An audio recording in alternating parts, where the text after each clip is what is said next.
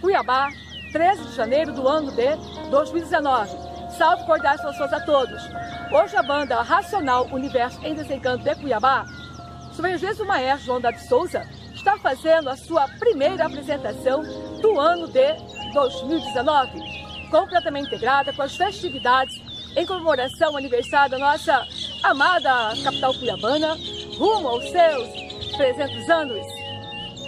E hoje é uma data muito especial para os estudantes de cultura racional, pois há 28 anos, em 13 de janeiro de 1991, que o mestre Manuel Jacinto Coelho, pai da cultura racional, se transformou.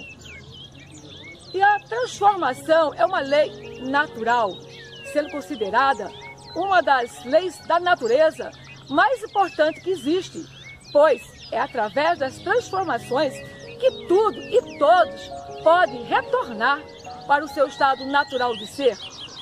Abraço fraterno a todos, de Cuiabá, Lucrécia Maria para Racional MP Notícias.